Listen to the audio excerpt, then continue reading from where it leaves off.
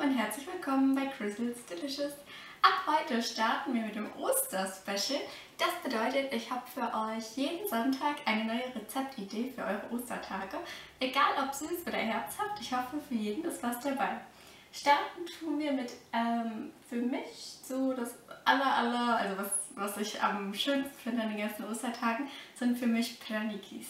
Das ist ein russisches Gebäck ähm, das besteht aus einem weichen, fluffigen Teig und der wird mit so einem Zuckerguss äh, so übergossen oder bepinselt eher gesagt. Und äh, die kann man wunderbar vorbereiten, weil sie durch den Zuckerguss sich nämlich prima halten. Man kann sie einfach in den Gebäckdosen lagern. Und die ich weiß nicht, also ich verbinde die mit Ostern. Ich meine, man kann die das ganze Jahr über backen und essen. Aber bei uns gibt es die immer nur zu Ostern und deswegen hält es sich auch so besonders. Und wir brauchen noch gar nicht so viele Zutaten und ich würde sagen, wir starten auch schon direkt los mit dem Teig. Für den Planiki-Teig benötigen wir einmal drei Becher Schmand, das sind also A200, also insgesamt 600 Gramm. Dann habe ich hier vier Eigelbe und das Eiweiß benötigen wir später, das auf jeden Fall aufheben. Dann habe ich hier 400 Gramm Zucker, dann benötigen wir dann nochmal ein bisschen Vanille, dann eine Messerspitze von diesem Hirschhornsalz, zwei Päckchen Backpulver und da habe ich jetzt das Hirschhornsalz schon dazu gemacht. Wenn ich weiß, was das ist, das ist ein Backtriebmittel, damit die nochmal ein bisschen besser aufgehen. Deswegen das noch hier rein. Wer das nicht hat oder nicht findet, der, also dann verwende ich einfach Natron. Dann haben wir hier noch 1 Kilogramm Mehl. Dann benötigen wir den Abrieb und den Saft der Zitrone und 250 Gramm Butter. So ihr Lieben, als allererstes verrühren wir nun alle flüssigen Zutaten. Das bedeutet, wir geben den Schmand in die Rührschüssel, dann die Eigelbe, dann machen wir hier den Zucker hinein und jetzt tue ich auch schon mal den Abrieb von der Zitrone rein.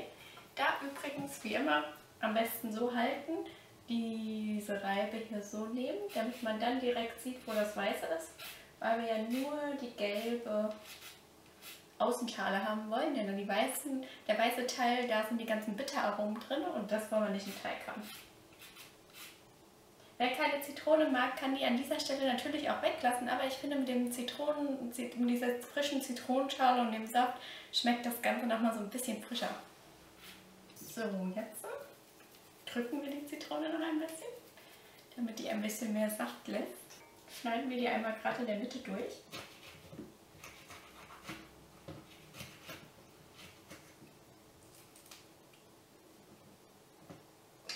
Legen die hier in die Zitruspresse rein.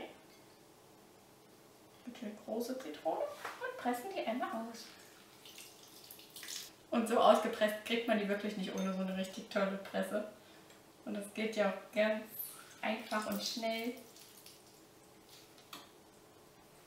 Also ich finde, das lohnt sich auf jeden Fall, so eine Presse zu haben. Da musste nämlich selbst mein Papa lachen, als ich ihm demonstriert habe, wie einfach das geht und vor allen Dingen, was man alles daraus trifft. So. Das Ganze verrühren wir jetzt erst einmal.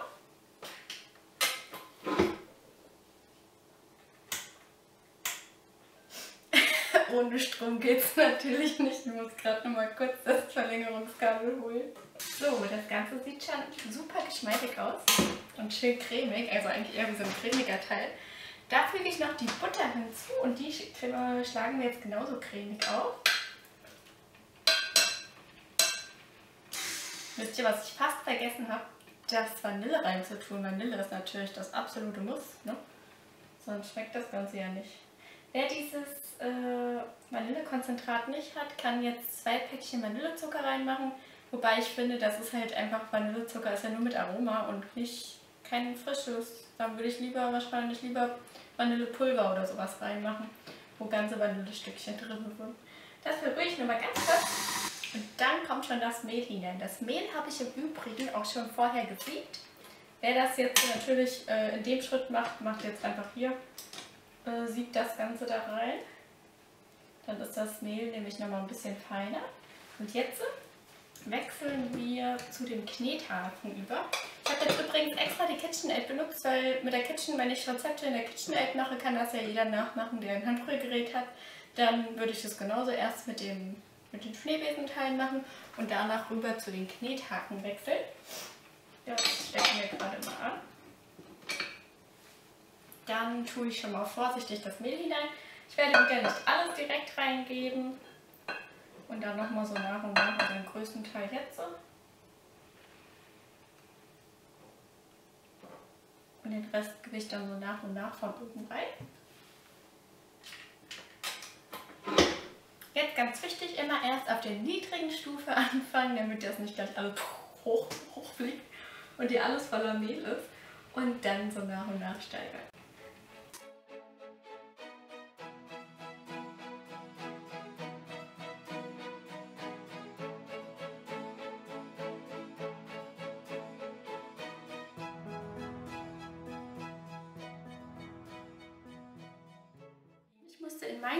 Übrigens noch zusätzlich 300 Gramm Mehl geben. Er ist auch jetzt noch nicht ganz perfekt, aber jetzt holen wir ihn raus. Guckt mal, wenn ich so mache, klebt er nicht mehr, aber im Ganzen ist er noch ziemlich klebrig.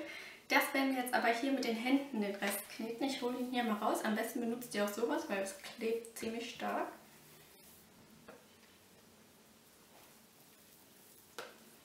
Weil genau hier muss man jetzt aufpassen, dass man auch nicht zu viel Mehl hinzugibt. Weil sonst wird der Teig nämlich wieder ziemlich fest und durch diesen Schmandteig ist er ja schon so schön fluffig und das wollen wir natürlich auch beibehalten. Dann geben wir hier nochmal richtig Mehl drüber.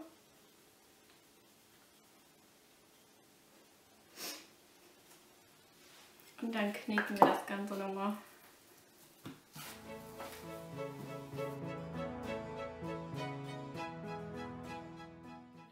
Der anfängt zu kleben, einfach nochmal Mehl drauf.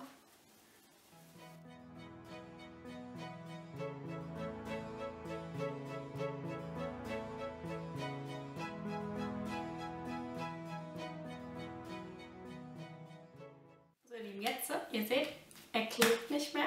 Er ist aber relativ feucht, aber das ist auch genau richtig so, denn genau dann können wir die auch schön formen, dass die schön aussehen. Ich mache jetzt hier unten noch mal ein bisschen Mehl, damit der einfach hier unten gleich nicht anklebt. Lass den hier zu so einer Kugel. So. Dann decke ich das Ganze mit einer Schüssel ab und wir lassen den jetzt ungefähr eine halbe Stunde ruhen. Wenn man länger Zeit hat, den Teig ruhen zu lassen, dann natürlich auch noch mal ein bisschen länger, aber eine halbe Stunde ist auch völlig ausreichend. Bei mir ist jetzt sogar schon eine Dreiviertelstunde rum. Und jetzt geht es endlich an das Weiterverarbeiten. Weil das jetzt hier so viel Teig ist, werde ich den ganz einfach halbieren.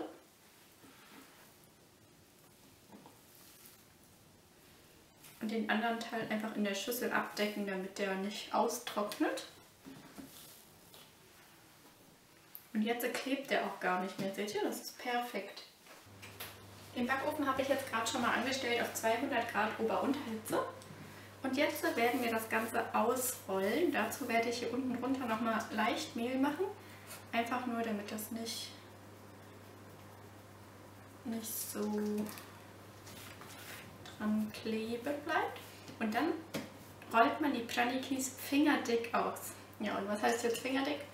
Ich habe jetzt einfach mal, ich nehme jetzt mal hier diese Teighölzer, in, also quasi 1 cm Stärke.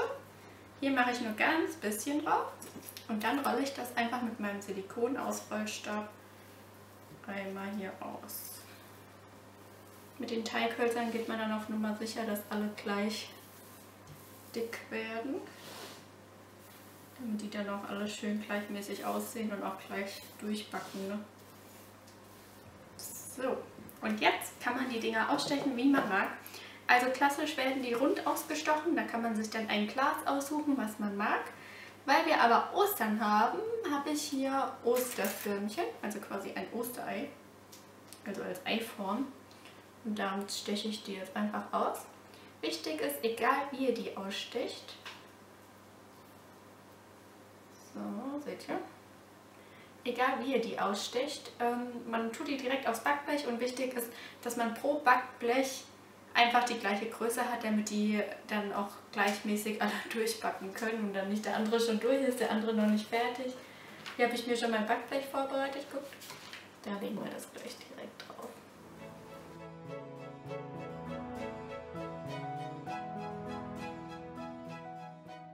Ihr seht, ich habe jetzt schon mal ein Backblech fertig. Die wandern jetzt im vorgeheizten Backofen bei 200 Grad für ungefähr 15 bis 20 Minuten. So ihr Lieben, die ersten sind schon mal abgekühlt, deswegen bereiten wir schon mal die Guss vor und die anderen backe ich gerade nach und nach. Ich habe übrigens zwei Bleche jetzt oval gemacht und zwei Bleche in rund ausgestochen.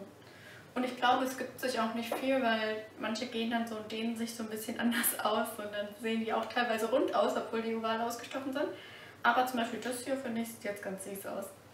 So, für den Guss benötigen wir einmal zwei Päckchen Puderzucker.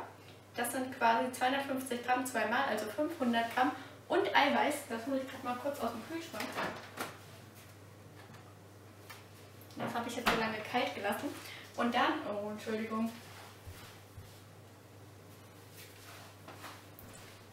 Also wir benötigen das Eiweiß, das tun wir in die Schüssel. Wichtig ist es, dass jetzt alles fettfrei ist. Das heißt, der Schneebesen darf kein Fett mehr haben, die Schüssel auch nicht, denn sonst wird das nichts mit dem Steifschlagen. Das heißt, hier tun wir die Eier von vorhin hin. Dann eine Prise Salz. Zwei. Und dann schlagen wir das Ganze erst einmal steif. So, alles ist schön steif. Dann geben wir hier das Puderzucker hinzu.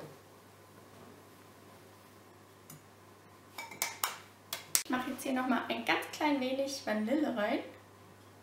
Nicht zu viel, das verändert ja sonst die Konsistenz. Und einen ganz kleinen Spritzer Zitrone, weil ich finde, Zitrone gibt den besten Geschmack. Das wird jetzt nochmal verrührt. Wieder erstmal auf der niedrigsten Stufe.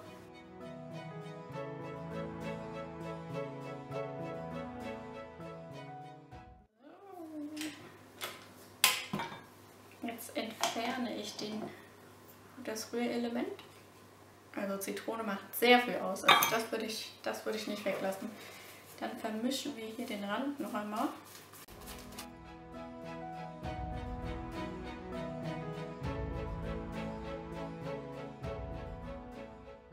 So, und dann hat es auch schon die perfekte Konsistenz. Damit können wir das Ganze dann schön bestreichen. So ich habe mir jetzt hier unter einfach dieses Backpapier nochmal genommen und hier das oben drüber gemacht, damit falls äh, der Zuckerguss nach unten gehen sollte, wir den Tisch nicht einsaugt. Dann nimmt man sich einfach so einen Pfennig, nimmt sich dann ein bisschen von der Glasur und pinselt das einfach so drauf.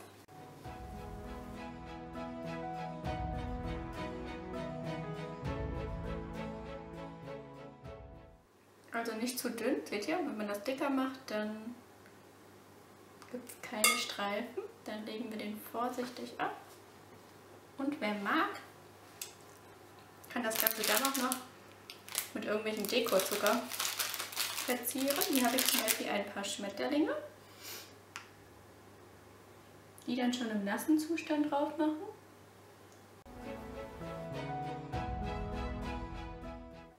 So, und das mache ich jetzt hier einfach mit allen.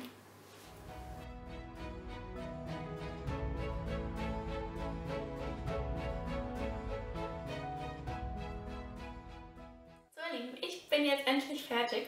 Im Hintergrund seht ihr, da habe ich, oder ich weiß nicht, ob ihr es seht, da habe ich auf jeden Fall auf dem Abkühlgitter noch die restlichen. Ich habe schon ein paar Bilderchen gemacht und ich habe auch, um ehrlich zu sein, schon probiert. Aber ich probiere natürlich dennoch nochmal für euch.